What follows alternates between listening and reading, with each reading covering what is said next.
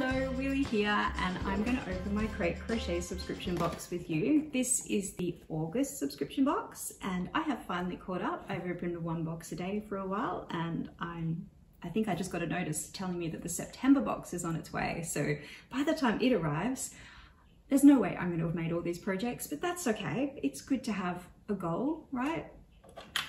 Open the box and see what I got. I always feel spectacularly dangerous with this.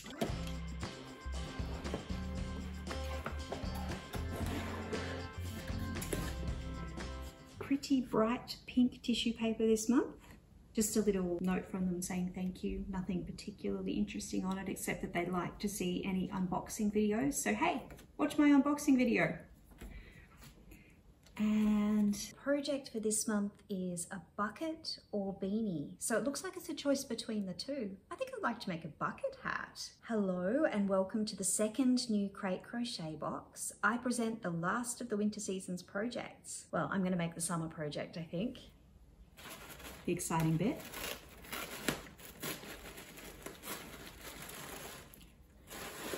Oh, this is really nice. I love these colors. There are three balls of this beautiful cotton merino tweed yarn. They look like 50 gram balls. The brand is Concept by Katia, and this is made in Italy. I've not heard of this one before. The color is a purpley blue sort of mix with that nice tweed look to it. This is really soft.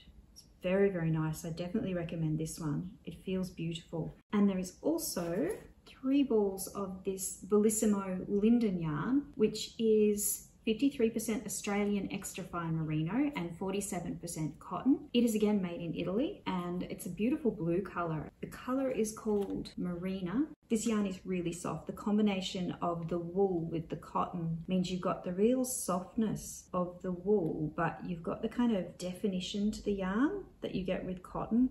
There's not a lot of fuzzing there, and that's totally the technical term for it, fuzzing.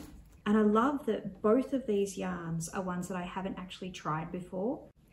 And also one of these. Now, these I have seen all over the place recently, and I've in fact started making them myself. They are super easy to make, guys. Like, um, they cost, I think, like seven or eight dollars usually to buy a pre-made pom-pom, but I highly recommend just buying some faux fur and making them yourself because then it ends up costing a whole lot less.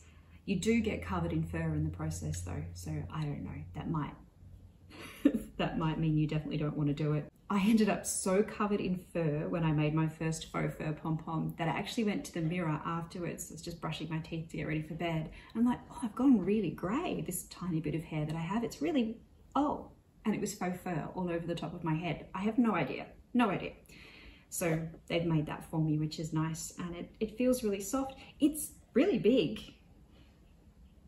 I've never made one quite that big before. I mainly make them for kids beanies though, so maybe this is the normal size for an adult beanie. I can't resist. Does it look too big? or do I just look insane?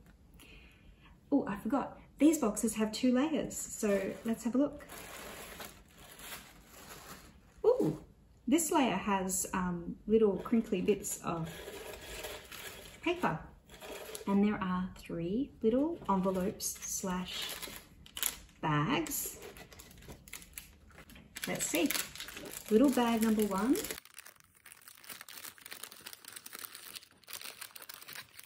One giant plastic needle and one, two, three, four stitch markers of the practical kind, but in pretty colors.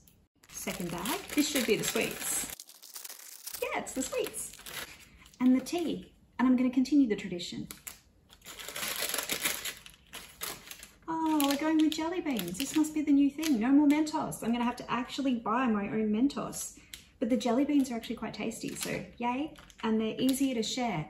I don't know if that's a negative or a positive, but my son now knows I get jelly beans in these boxes. So he really enjoyed the last lot.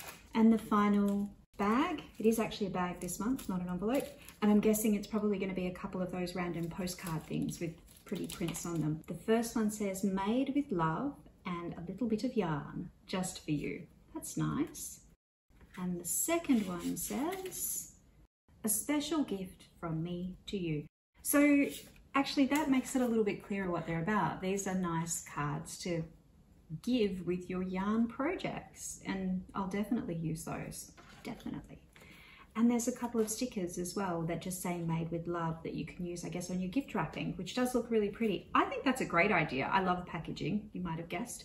Um, and I think that's a nice way to jazz up your gifts. And it's nice of them to include something like that with envelopes to put the cards in. So that is the box for this month. Hello, it's me again, and I've got a couple more things to tell you before you go. First of all, check out my bucket hat. I really like it. My son said, and I quote, that hat does not look as good as you think it looks. Um, but I disagree. I think it's cute and I'm going to wear it anyway and just be the embarrassing mum. So when I was opening the box with you, I was so keen to get to the yarn that I didn't read the booklet properly. I thought I was being offered a choice between this stunning bucket hat and the beanie with the pom-poms. But it turns out only the bucket hat pattern was physically in the box. The beanie was available as a download. So you could choose between the bucket and the beanie, and then the booklet said you would be able to also make a free mini project with the leftover yarn. So when I had a look at the pattern download page, there was a pattern for the bucket hat, there was a pattern for the beanie, and then there were two bonus patterns. I assumed that meant that there were two free mini projects for me to pick from. When I had a look at the first link, it was exactly on point a pair of really simple fingerless gloves with a little bit of interest on the back of the hand. Exactly the kind of thing you might like to make if you'd chosen to make the beanie. But obviously I made the bucket hat, so I was pretty keen to see what the second bonus project would be.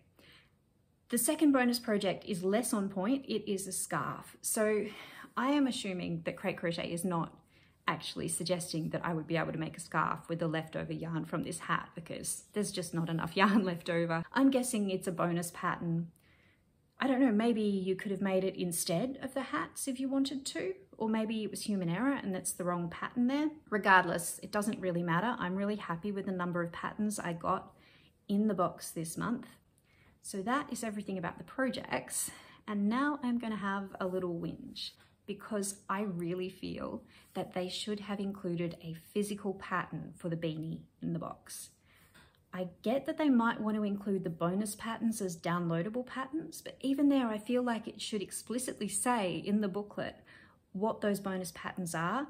Like, actually say you might like to make a pair of gloves with the leftover yarn using this bonus pattern, rather than just saying there is a free pattern and making you go to the website and find out what it is.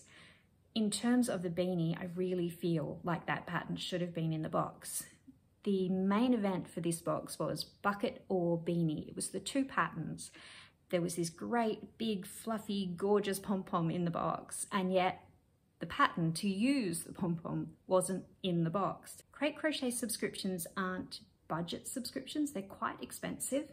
So I get that probably they couldn't fit the pattern for the beanie on that nice glossy booklet, but they could have printed it on a separate piece of paper and included it in the box for me. I am probably a little bit more frustrated than I should be by this situation because when I went to look at the beanie pattern, I couldn't find it. There isn't a URL for the pattern listed in the booklet, and while there are QR codes on the back of the booklet, none of those QR codes are for the patterns, they're for the social media sites of Crate Crochet. So I looked everywhere on that website. I really feel like I hunted through it from top to bottom, but I couldn't find the patterns anywhere. I ended up having to email them and they were very kind. They got back to me quite quickly and they gave me the link. But I felt like such a dunce. And then I have to admit, I then had tech problems. I couldn't get the patterns to download properly or to open or save properly for quite a long time. And that all kind of drained some of the fun away from it for me. This box was really well curated. Partly, I just loved the yarn choice. Partly it was the kind of care that had gone into picking these projects that were so complementary and fit together so well that you could either have your summer hat or your winter hat. I loved it. It should have felt really special. But in the end, I felt quite frustrated and I didn't enjoy it as much as I feel I should have or as I feel I would have if they had printed that pattern out for me. So that is my thought on it. Um, I'd be interested to know what other people think, whether I'm just being a little bit of a technophobe I don't think I'm a technophobe, but So that's it for this month. A big hello to the people who've been leaving me lovely comments and likes and getting in contact. It's been so nice to get to know some of you a little bit better over the last few months. It's really making my day. I have some interesting new content coming up soon because I've ordered myself some new and different styles of subscription boxes. So I will be opening those with you and you'll be getting to have a look at some different options for subscription boxes or if not subscription boxes, different options for getting your hands on new and different yarns. So keep your eyes out for that one. I also have the September box of Crate Crochet winging its way to me at the moment. So I'll be opening that one with you soon. And I've actually finished this month's project. Of course, I haven't finished the projects from the last few boxes, but just ignore that. I'm totally up to date. Thank you so much for watching. I'll see you again soon. Bye.